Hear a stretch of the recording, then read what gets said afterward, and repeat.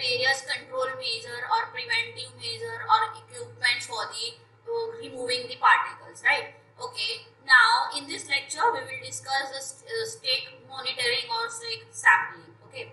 So the basically in order to control and remove the air pollutant from air, right? So it is necessary to know the source of air pollutant and to collect the sample of the emission of gases at the sources, right? So the collection of sample at various sources, it is called a stack sampling, right? Now, the objective of the stack sampling, which is uh, to measure the quality and quantity of the pollutant which is produced by the source, then determine the effect of the emission throughout the year and the monthly variation in the year, then determine the effect of the emission in the different zones and area of the country, uh, then to know the nature of pollutant at the source, to estimate the single or multiple pollutant sources, to determine the method of control of the air pollutant and the last to implement the local air pollution control system right okay now the next one which is the air sampling method so basically for the sampling there are two met two methods one is the particulate pollutant and the second one which is the gaseous and the vapor pollutant okay so the air sampling technique for the particulate pollutant pollutant. The first one which is sedimentation, then filtration, uh, impingement and the precipitation. There are again two types, the thermal and the electrostatic precipitation. Okay. And for the gaseous pollutant, there are three methods, absorption, adsorption and the condensation. Okay. Now, first of all, we discuss the air sampling technique for the particulate matter. The first one which is the sedimentation. Okay. So it is used to collect the settleable, particulate that settle out of the atmosphere as a result of the gravitational force, right? Uh, we know that the particles which have a gravity which is higher than the particular, right? So they are settled down to the bottom, right? Okay, so the particulate pollutant having a size of the 10 micrometer, it can be collected with the 99% efficiency. Uh, the sampler, it consists of a simple dust jar. Okay, here you can see that. Uh, this is a dust jar which is fitted with a funnel, uh, a funnel A. Liquid is added to the collector to prevent the solid blow out from the jar by the air. Okay. The collected dust evaporated by the dryness and then weighted in the milligram. Okay. And the sampling period is about uh, 30 days. Okay, here in this figure you can see that the liquid in the funnel the liquid will be the added and the sedimentation are there. Okay, here you can see that the uh, pollutant will be the settled down, right? And the total period will be the 30 days. Okay, now the second one which is the filtration process. So the technique used in the collection of air pollutant of the size which is smaller than 10 micrometer in diameter, right? So the particulate are removed from the air sample by suction apparatus through a porous filter where the particulate are deposited. Okay. Here you can see that the porous hole are there so that after the passing of air into this the, the porous material sorry the particle the particle which are uh, trapped in this plate and the clean gas will be the outright. So this glass filter, uh, this glass fiber filter to porous size less than 0.1 micrometer is used in a high volume sampler. The sampling period will be the 24 hours. Uh, the air volume which is sucked like 2000 cubic meter and the particular concentration which is microgram per cubic meter, right? Now the third one which is the impingement, right? So the based on the internal technique in which particles are collected from the high velocity airstream uh, directed towards the obstacles placed across the path of air stream particulate collide with the obstacle and air change its direction. Okay here you can see that the air inlet are given and the air outlet are given right? And the is a leaving orifice are there so if the obstacles are adhesive surface, then the particles are impacted on it and it's all by the dry impingement. They are collected by this. Okay. So the obstacles is weighed by an, any liquid dam that is a called a weight impingement, right? Now, uh, the next one which is the precipitation. Okay, the first one which is the thermal precipitation. The thermal precipitation is based on the principle that uh, particles move towards the lower temperature region when subjected to a strong temperature gradient, right? The temperature gradient are normally of the order of 3000 degree per centimeter. And the technique used to collect the particle size which is 0.01 micrometer with high efficiency. In the electrostatic precipitation, uh, electrically charged to force a radioactive particulate to migrate out out the air stream onto a collection surface, right? So in this uh, precipitator, two electrodes are used like positive and the negative, same as the electro, uh, electri uh, electrostatic precipitators, right?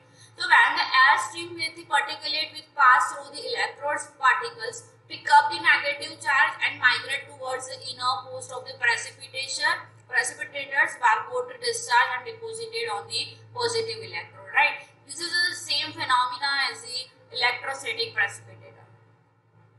Now, the next one which is the adsorption sampling, it is for the gaseous pollutant. Okay, the gaseous pollutant are absorbed in a solvent when both the pollutant and absorbent are in a close contact. Okay, here you can see that the absorber or the stripping column are there. Here you can see that the liquid which is in and the liquid will be the out. Here the clean gas will be the sorry gas will be the in and the clean uh, clean gas will be the out. Okay. So the liquid react with the gaseous pollutant to form a non-gaseous pollutant, right? Uh, for example, alkaline for acidic gases, then acidic solution for the alkaline gases, and the oil for the hydrocarbons, right? This is the absorption sampling. Now, the adsorption sampling Okay, the gaseous pollutant are adsorbed on the solid surface of the activated carbon and silica gel and the activated alumina on the molecular sieve. Okay, so here you can see that the active surface area increase the absorption, adsorption increases. Okay, here you can see that the carbon bed are there and here uh, this is again carbon bed. The contaminated uh, contaminated gas and here the steam generated uh, the treated gas will be the out. Okay. So here the first one which is the contaminated gas will be the inlet to the carbon bed and here after that the clean gas will be the out. Okay. So the carbon bed here you can see that the dirty gas will be inlet at that. Okay. The steam regeneration the steam will be the regenerate and the clean gas will be the out. Okay. So what do you mean by absorption and the adsorption? Here you can see that this is this process called adsorption and this process will be called the adsorption. Okay. Now the third one which is the condensation sampling. Okay, the conversion of vapor or gas to the liquid. It means a condensation process, right? So the method used to collect the radioactive gases, hydrocarbons and the non-reactive vapors. Okay. So the air pollutant can be trapped by the condensation reaction as the gaseous pollutant pass through the different temperature range of the condenser where the temperature is below the boiling point of the gaseous pollutant will trap in the liquid. Okay, here you can see that the gas will be the inlet. The gaseous pollutant which pass through the different temperature, particular temperature, right? And where the temperature which is below the boiling point, uh, trapped into the liquid and they are settled down, right? And the clean gas will be the gas outlet are there and the water and the condensate will be the out are that okay? Okay now the control of the automobile exhaust. The first one which is it is controlled by the unburned hydrocarbon in automobile emission can be reduced by the use of the efficient engines uh, right then catalytic converter can convert nitrogen to the nitrogen gas and reduce the potential hazard okay, by enforcing these stringent uh, emission standard for the vehicle like a Bharat stage 4 or Euro 4 right at the manufacturing stage then using a lead free, uh, lead free petrol then using a cleaner fuel like a CNG, hybrid car, electric car and etc. Then by proper maintenance of the vehicle, uh, developing a good mass transportation facilities. Okay. Now, the last topic which is the analysis of the air pollutant. Okay, So first one which is the sulfur dioxide. So the many method, which is available to determine the sulfur dioxide. Uh, okay, here the which is the code which is given AS 3584.4.1, right? Approximate for the carbon dioxide 0 to 5 ppm. Permit the use of any of the following detection method like UV, UV fluorescence analyzer, then flame photo, photometric detector, then electrochemical, and most widely used method in this country is the UV fluorescence analyzer, right? So the UV fluorescence it is uh, is equals to the air sample drawn into the scrubber chamber uh, and then on out in the irradiation chamber which is uh, where it is exposed to UV light and the SO2 which is absorbed in the 190 to 30 nanometer, right? And the amount of fluorescent radiation is directly proportional to the concentration of the sulfur dioxide. Okay, here you can see that the first of all UV light source are there, right? Then beam, uh, then beam splitter are there, and the photodiode are there. Okay, electronic signal processor are there Okay, so here you can see that the proper measurement of sulfur dioxide by UV uh, fluorescence are given, right? Now, the second one which is the oxides of the nitrogen. It determined using the chemiluminescence. It is specific for the nitrogen uh, nitrogen oxide, but total oxide of the nitrogen determined by passing the sample over a catalyst to convert a nitrogen to the nitro NO2 to the N, right? suitable for the ambient air containing the oxides of the nitrogen at level less than 1 ml per m3, right? The reaction of the NO with the ozone in a dark enclosed chamber to produce a light detected by a PMT. It is provided if the ozone in present in excess the light output is directly proportional to the concentration of the nitrogen right. So here you can see that the chemical reaction which is NO plus O3 it gives a nitrogen dioxide plus oxygen right. Then this nitrogen dioxide will again uh, chemical reaction and that is a, here uh, nitrogen M plus the light. Okay. Here you can see that how it is measured. Okay, so this is the whole process for the uh, oxides of the nitrogen. Now the next one which is the ozone. So it is determined either by the chemiluminescence method or direct reading UV detector.